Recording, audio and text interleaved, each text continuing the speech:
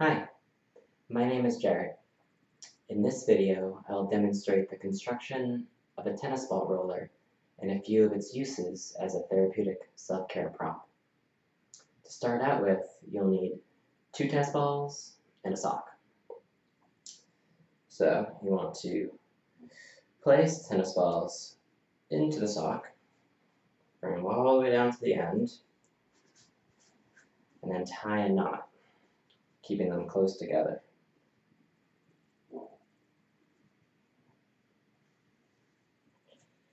Once you have your knot in place, scratch it down, and there you go, tennis ball roller. So, this goes to my lower back.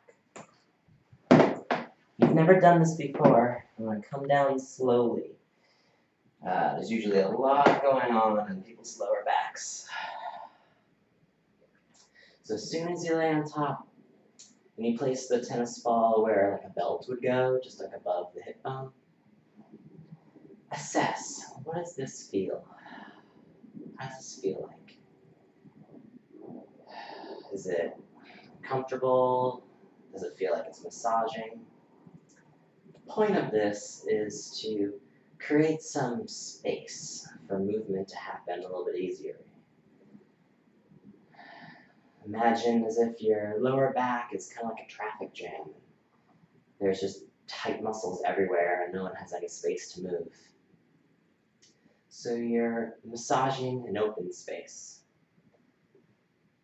So kind of wiggle back and forth and you can bring a knee into your chest that changes the angle of what you're feeling. Your other leg can go long. Breathe. Changing legs, you'll feel a difference in where the pressure goes. I like this prop because it's really portable. It travels well with you, and this is something I bring on my carry-on. Massage out in the middle of the flight. Cool. You know you're ready to move on once it feels like you've made this space. Like honestly, your body kind of spreads out around it. And then you want to start to roll up your spine. You can be in a partial sit-up, where you can be totally flat. The legs can be long. You're checking out your individual vertebra. So, what does your spine feel like? What do you notice? Where is your tension? Breathe. Exhale out these knots. Yeah. Once you find a spot that works for you, drop the knees to a side, to the other side. You're finding all the angles. You can be here for as little as long as you like. You're in charge of how much pressure and where. So, figure out what you want with your back. Where is it tight? How can you open it? Once the tennis balls are between your shoulder blades, more in the mid-back area, move your arms in ways to create the stretch. This is a technique called pin and stretch, which means that we pin down a spot in the back, spot in whatever, and you create a stretch to that spot. It's a, a way to aim the stretch. Ugh. Maybe flap your arms like a bird. You can keep elbows bent. You can lift the hips for more body weight to the upper back. Interlace the hands, reach the fingers away. That changes the angle of pressure to be more, it's kind of like you're squeezing the knots between your shoulder blades and the tennis balls. And slowly roll down a few inches. Exhaling. Inhaling. Exhaling. Whew. When you settle in one spot, it's considered a little bit more of a gravity stretch. And the point of that is to uh, prop yourself up in some way that gravity stretches you. It teaches your muscles how to be passive, how they relax, which is difficult. That's a difficult skill. With every breath, can you feel the stretch happen from within? That's your lungs stretching out your ribs from the inside.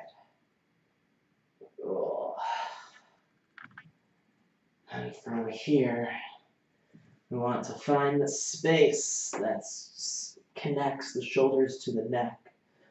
So you're gonna lift up the hip, and then you shrug the shoulders, kind of shimmy side to side. If you work at a computer a lot, if you carry a baby, like I have a five week old child, so I've been feeling this spot a lot.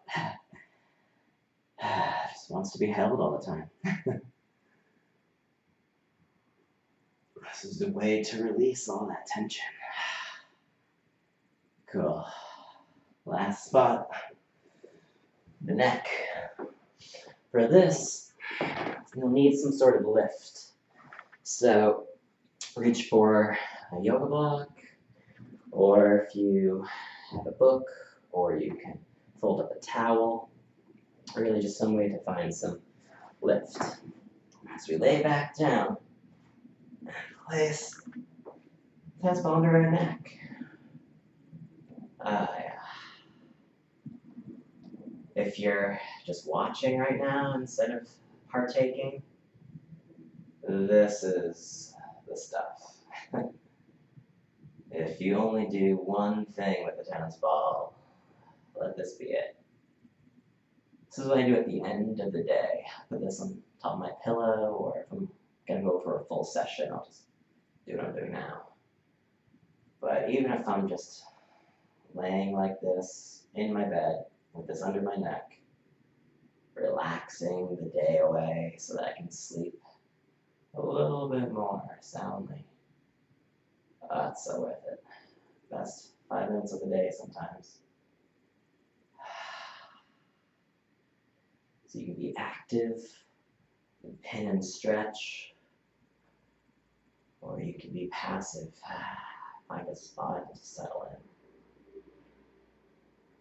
If you have headaches, then you want to go up pretty high near the occiput. So as high as it feels comfortable. Then place your hands, the heels of your hands on just above your eyebrows, your temple area.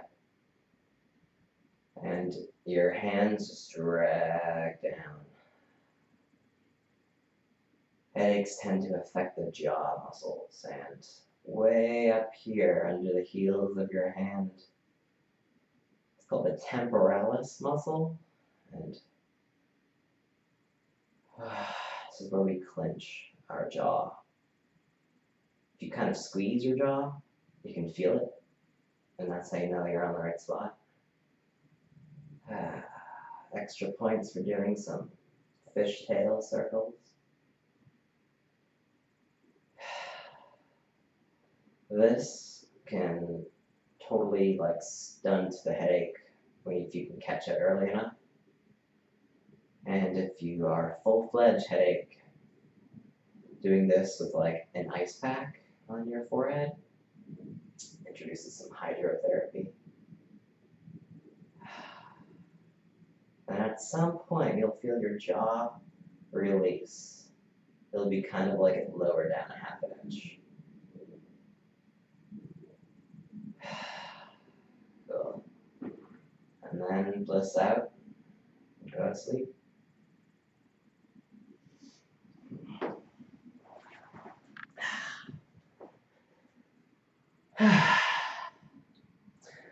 Thank you for watching this video. I hope you're feeling the benefits of stretching with me. If you have any questions or comments, please let me know, and I'll see you next time. Thank you.